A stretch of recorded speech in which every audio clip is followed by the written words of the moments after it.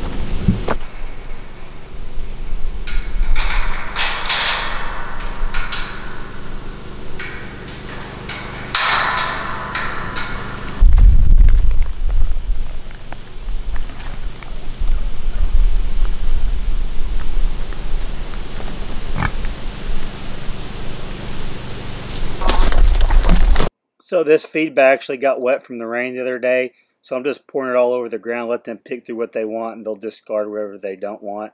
Um, I just want to get rid of it before it got too moldy and make something sick. But they're good to go.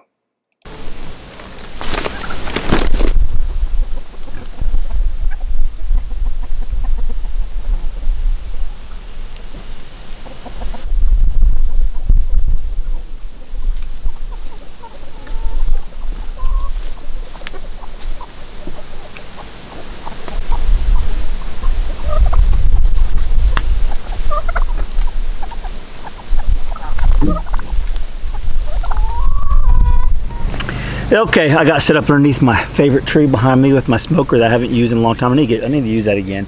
Um, but today's just going to be kind of a, I'm going to answer some questions, uh, some questions I've been getting about the pigs.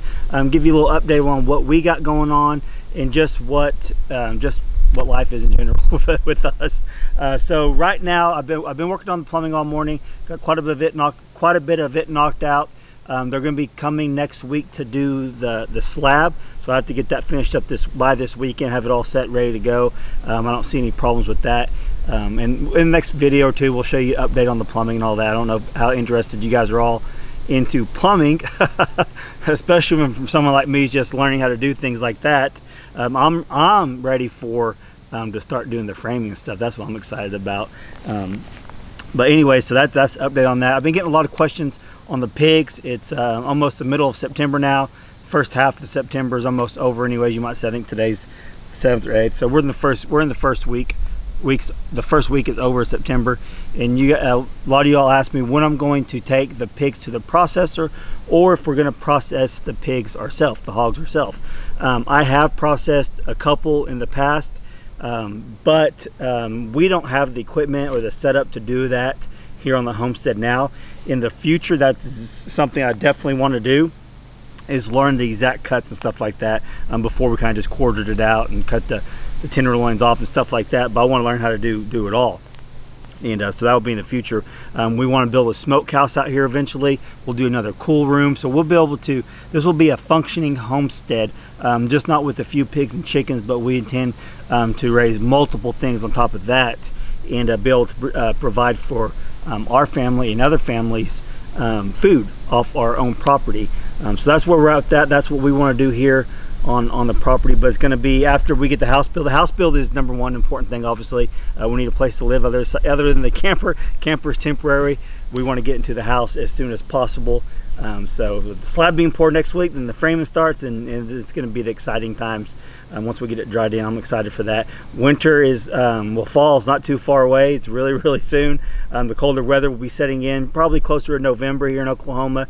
Um, there's been plenty of day, plenty of hunting seasons where I was sitting in a tree stand on no, on October uh, 25th, and it's like 89 degrees, 90 degrees. So we don't get the cold extreme temperatures um, all that often early early in fall uh, it's usually November, mid-November when it really starts getting cold here. So we got some time to get busy, but um, it'll, it'll, sneak up on us quick.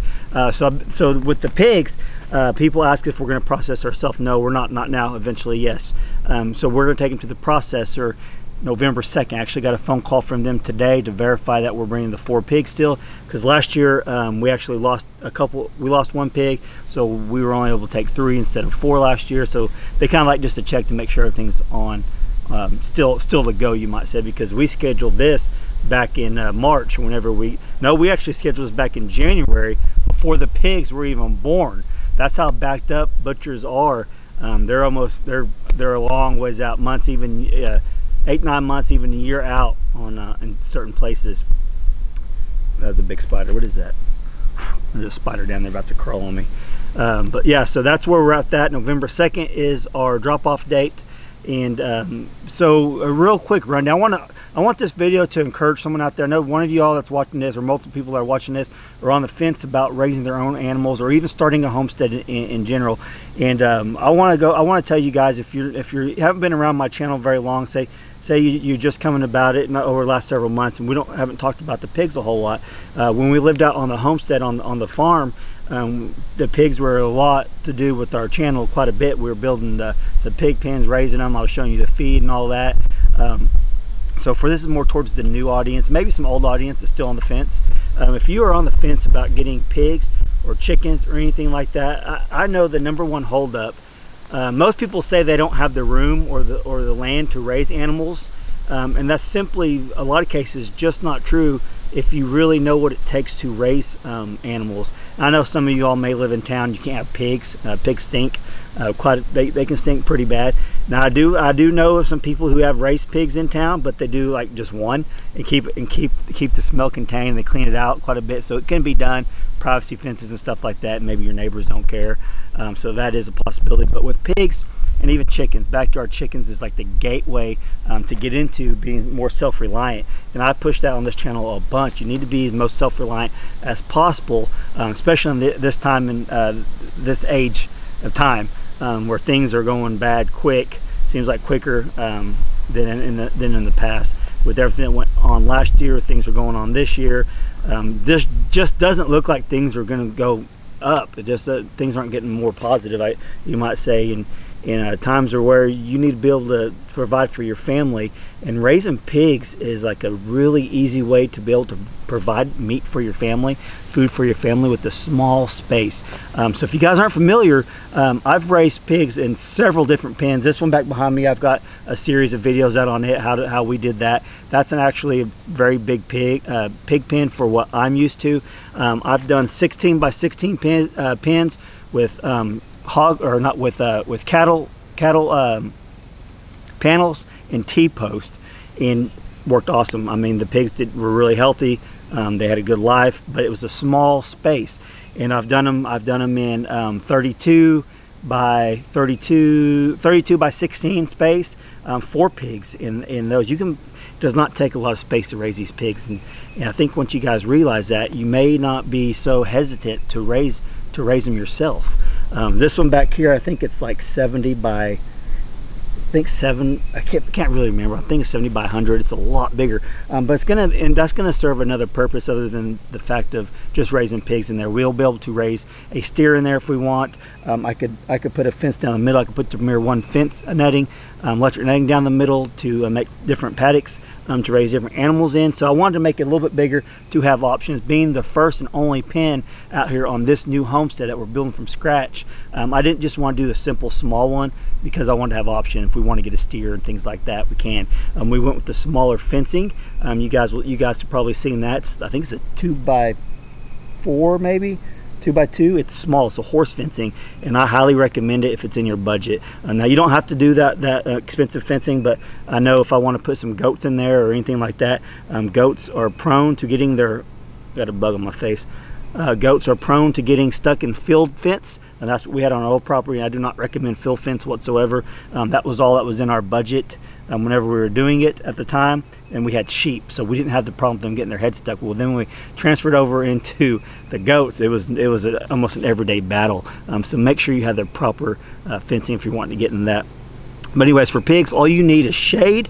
You need some fresh water and a mud hole pigs do not sweat um, a lot of people don't realize that pigs don't sweat, um, so they need to have that mud waller so they can get the mud all over them. One day I walked out and Brandy's rinsing all the mud off of them. I said, "What are you doing?" Like, "Oh, I'm just rinsing them off. They like it." Well, yeah, they might like it, but they spend a while trying to get that mud all over them, protect them from the sun because they don't sweat. I don't know if she realized that, realized that or not, but uh, it, it, wasn't a big deal. They just jumped back in there. But that's that's one thing. Pigs have to have the mud if they don't have a lot of shade. Um, you might be able to get away with not having a mud hole if you have multiple trees with shade covered the whole the whole day. Um, you could probably get away with it, but I recommend always having a, a mud waller.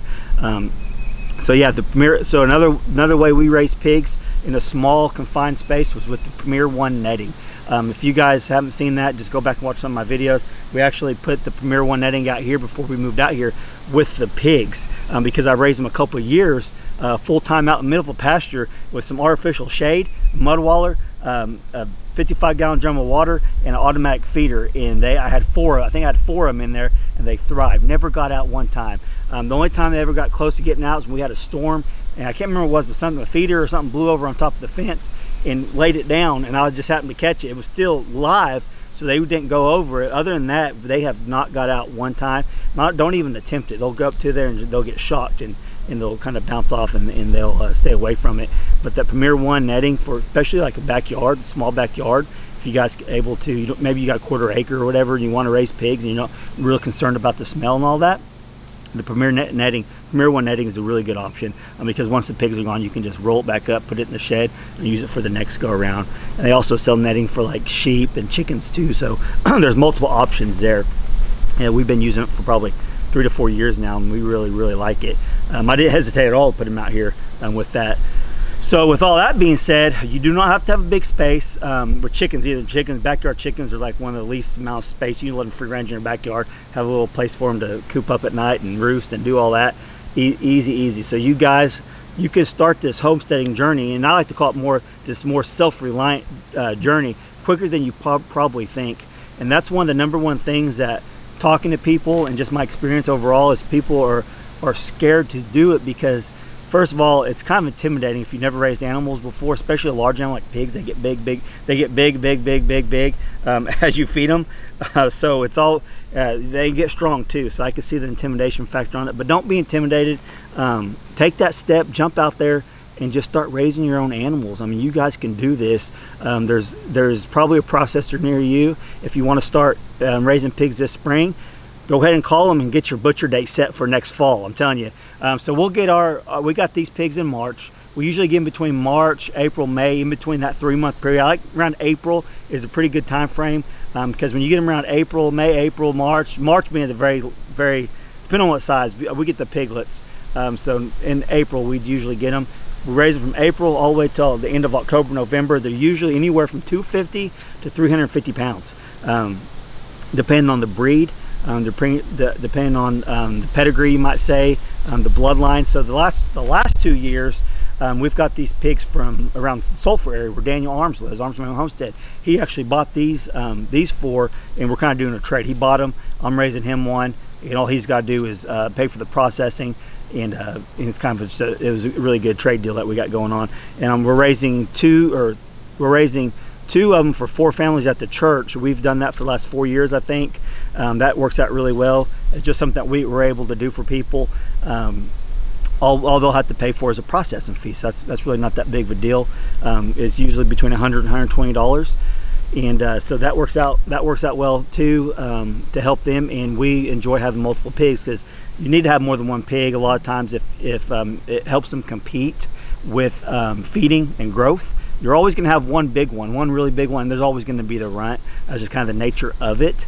Um, but the whole point of this video really is is to get you guys motivated and on board to raising your own food. Um, not just pigs. You start a garden um, start a garden that's something that we need to get better at as our garden i know a lot of people make big mistakes by making big gardens when they first start out and then they can't keep up with it i've been to several of my friends houses and uh, over the last several weeks and i've seen all their gardens and i'm telling you guys right now their gardens always look, end up looking like mine at the uh, end of summertime. They're just over, they're overgrown. They're they're uh, they're weedy or overgrown with weeds. They're dying off. Um, it's one of the things when spring starts, everyone gets all motivated to start a huge garden, um, but it's a lot of work. Um, that's one thing I would um, uh, give you guys caution uh, caution about is the size of your garden. Start off. If you've never done one, start off small uh, maybe a few buckets. Uh, we've done that out here, uh, maybe a few buckets or a raised bed or something, and then see what exactly you want to grow and how much of that time, how much time it takes you um, to do that. Because I've made the mistake of doing a really big garden one year and I could not keep up with it whatsoever. Um, especially if you're by yourself doing things, um, it's a lot more work than people think. It's actually, in my opinion, 100% easier to raise pigs and chickens and, and goats and stuff like that than it is to do to do a garden. I'm telling you. Um, but you can you can do it. Don't let me discourage you on that part. I'm just saying, um, start small and work your way up. Um, so you don't get overwhelmed and quit. That's what a lot of people do. They'll get overwhelmed with things and just just give up on it. So yeah, I hope this is motivating to someone out there. I wanted to give an encouragement. I wanted to be an encouragement today for somebody um, to be more self-reliant. Um, don't depend on the grocery store for everything. And we still do a lot of grocery shopping, obviously, um, at stores. We um, we live in a camper. We have a little bitty refrigerator. We don't have our deep freezer set up here. I do have it set up at my brother's house. Um, we have a we have a half a steer in it, so um, we'll get our beef and stuff over there whenever needed. Um, but that's not always the case for everybody. I understand that. Um, uh, but like I was saying, um, you just don't have the desire to raise your own animals, but you want that fresh meat. You want the, the good quality meat that's not in the grocery stores. Uh, there's all kinds of there's all kinds of uh, meat uh, companies out there that will actually ship them right to your house. I'll probably be making a video on one here in the next month or so um, because we are the, this channel is sponsored by um, um, a good one, and I'll, I'll, discuss that in another video. Um, but and an another thing is too, like my buddy Kevin from Hidden Heights Farm. You guys might go check him out um, because as of a couple days ago, he still had two whole pigs um, for sale. Uh, Kevin does like the business side of it, and you can learn a lot on that. Um, if you want to turn your ho homestead into a business, he actually has been raising the last several years pigs for families that don't want to raise them or can't raise them. Okay, so Kev, so so Kevin does like the business side of it. Um, as of the other day, he had two of them um, still for sale. So you can go Hidden Heights Farm, you can email him. Um, he still might have two of those if you're local and you're wanting to get a pig that you're you're not able to do it or you don't have the desire to, but you want the fresh meat still. Go hit him up because, uh, and then you can learn from his channel how he does the business side of it. Um, he provides a service for people um, like you that are watching this that aren't able to do it. Um, so that, that's that's another option too. And uh, or you can just come to church with me and I'll raise you a pig. no, I'm joking. Uh, uh but so let's jump let's jump back to the beginning with the pigs. So we'll get them in the in the spring and then we'll process have them processed in the fall. We'll start them on pig starter. Um, it's just a higher protein and um, you can we give scraps too from the time they're little until they're gone. We give them scraps and that supplements a lot of the food. But it, the, um, the pig starter is just a higher protein, gets them really going. And then about you know seven eight weeks in, we'll put them on the pig grower um, for several months. And then like the last three months, two and a half, three months, we'll put them on the, the pig finisher. It's just, um, just steps lower in protein. And then the very last month, we'll do straight corn. All the old timers say, um, put them the last 30 days on straight corn makes the meat sweeter. I've done that for the last several years. I don't know if it really does or not. I don't, I've never really done a taste comparison. Definitely doesn't hurt it by any means. The meat's always really, really good. Um, and uh, so yeah that's what we always do like i said um, you have them in april all the way till november. They're between 250 350 pounds depending on um, the genetics. Um, the ones like i talked about earlier that we have here we got them from daniel arms over in sulphur and they're really really good genetics so these ones put a lot of weight on quick. These are more like show qualities uh, show quality uh, breed um, than what we're used to. Um, the ones we get usually are just normal breeds, but these ones are like they're bred for show pigs, and these are kind of like the ones that they didn't quite make to show. Obviously, they're on my farm, and they're going to be uh, making the freezer camp. Um, so that that does play into it on what breed and all that that you guys get. Uh, but anyways, um, so if you guys are on the fence, I'm telling you guys, you will not regret getting animals um, to raise for your family to be more self-reliant. Um, several years, a couple years ago, I started raising quail um, in my garage, and I got several people reaching out to me, telling me by because of those videos of me showing you that you can raise quail indoor. Um, if you do it right, it can get kind of dirty and stuff. But you just got to clean it, clean it up.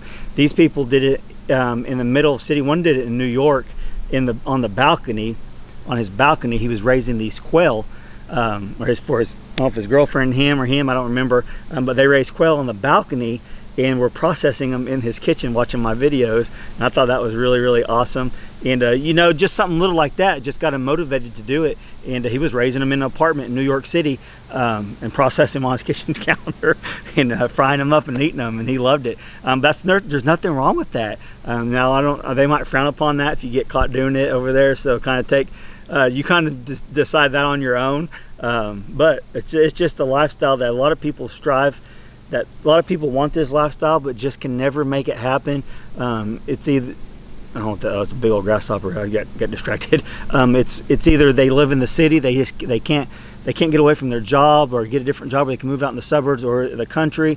Um, so they, they watch our videos and they kind of live through that. And um, I do the same thing with people. Things I can't do, I'll watch. Oh man, that'd be awesome to do someday. But I'm telling you guys, you don't need a big space. You don't need a lot of area to raise some sort of um, animals for for your uh, family, or even a small garden, bucket garden on the balcony. You could do that too.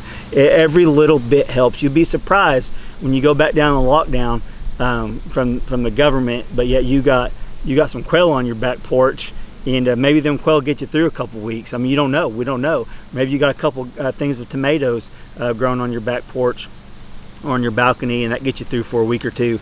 Um, just that little bit, can, I'm telling you, can be a lifesaver. Um, so just strive to be as most self-reliant as possible. Um, if that means start your own food storage um, with with store-bought stuff, do it. Do it. I highly recommend it. Um, this is the one of the main reasons why I always wanted to have a homestead, um, not just for the, the fresh food, but was a way to provide for my family if anything ever did happen. Um, we'll always have some sort of um, food for us, not only with hunting, but with raising our own stuff. And you guys can do it too. So hope this encouraged someone out there today. And uh, maybe maybe you can uh, send me an email and uh, let me know um, let me know what you're going to do. Are you going to start a homestead? Are you going to start a little hobby farm? Are you going to start raising quail in your garage? Uh, I mean, just let me know. I'm, I'm, I'm, interested to hear your guys' story. So let me some comments and maybe send me some emails um, telling us how our channel has helped you guys in some sort of fashion being more self-reliant and uh, we appreciate you guys we love we love you guys we thank you for coming along this journey with us um, even with these videos where i'm just chatting with you guys um, I enjoy doing these videos where I'm just sitting down talking to you guys. It doesn't always have to be hard work, physical work, cutting trees down and building houses and, and stuff like. I like doing that stuff too, but I like having to sit down talk also. Um, but yeah, with that being said, um, we're going to have a busy, busy winter for you guys doing a lot of hard physical labor, not only at the house, but with splitting wood, milling our own siding, all that stuff. So stick around for all that. You guys will see me working hard. And uh, oh, update on Brandy. Um, she went to the doctor. Um, she did. They did some blood work um, and we think it's allergies. Uh, nothing serious. She's just down and out. I, I tell her, I said, Brandy, you get bad allergies all the time. She said, I don't remember that. She, Brandy has allergies. It's allergies are bad right now. The ragweed in Oklahoma, humidity's lower. It is bad out here. So, it's one of them things too. Every little sniffle, you think, uh, is it the, is it the, um, you know what? Uh, and uh, more times than none here around here, it's just, it's just the, it's just the allergies. Um, so thank goodness for that, right? Uh, love you guys. Catch you on next video. Thanks for watching.